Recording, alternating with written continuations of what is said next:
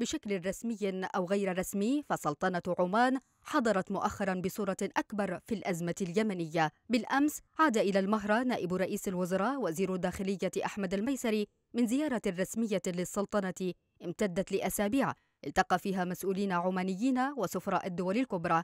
قال الوزير إن هذه الزيارة جاءت بناء على توجيهات الرئيس هادي لبحث عدد من الملفات.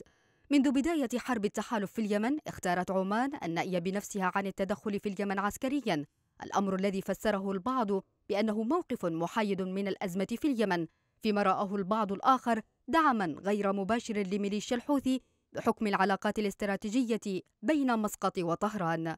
أواخر العام 2017 استخدمت الرياض قوة عسكرية كبيرة إلى المهرة المحافظة التي تعد بالنسبة لمسقط امتدادا لأمنها القومي في اليمن.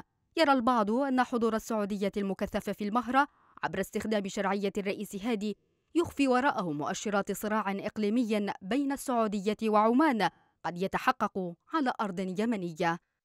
أبناء ووجهات المهرة الذين تربطهم مصالح تاريخية مع سلطنة عمان كانوا رأس الحربة في مهاجمة التواجد السعودي في المحافظة التي أشعلت الرياض النيران فيها.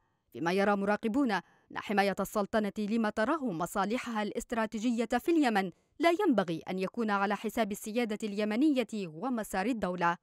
في منتصف نوفمبر الماضي زار نائب وزير الدفاع السعودي خالد بن سلمان مسقط والتقى المسؤولين العمانيين ضمن جهود وصفها البعض بأنها في إطار التقارب السعودي الحوثي والتي تدعمه أيضا الولايات المتحدة.